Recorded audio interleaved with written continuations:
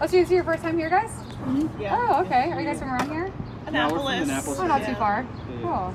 Awesome. Well, we're happy to have you guys here. This is, this is my second lunch in Frederick.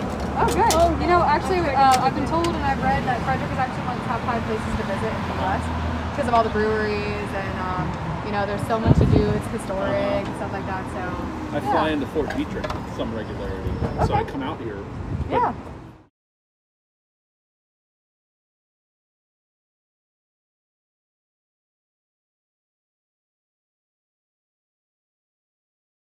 Basically, yeah, feed just him He just goes into a They kennel. feed Yeah, him he just goes into a kennel. the time. what he That's did. it, right? And he comes home, to your point, as you said earlier, he comes less home after a weekend of, uh, of With a hoarse voice. And he has no bark he, well, he did Right. the last time he came home, and he was hoarse for like, for like a week. a week. And Yeah. I'm like, see, they, a- they bark 24 7. Yeah. Even my vet.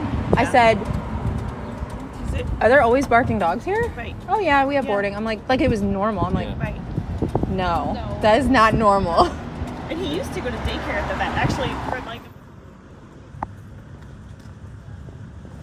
Guys, I'm downtown with Lily. We're walking on Market Street. It's a gorgeous Friday afternoon. We just had a really nice lunch at the outside patio of Black Hog, where she held a downstay. And now we're headed to a really busy intersection, uh, the Market Street as it intersects with Carroll Creek. And we're just gonna do a little downstay as everything goes on around us. It's really good to get these dogs out and have them observe the world in a calm and controlled way so they learn they don't have to react to everything. They can actually just watch.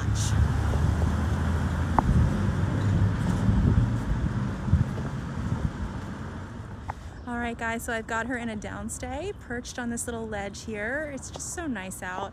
And we're just hanging out. I get we're gonna watch some people go by. Hopefully some dogs will go by. That was one of her triggers in the past. And it's here she just learns her only job is to relax.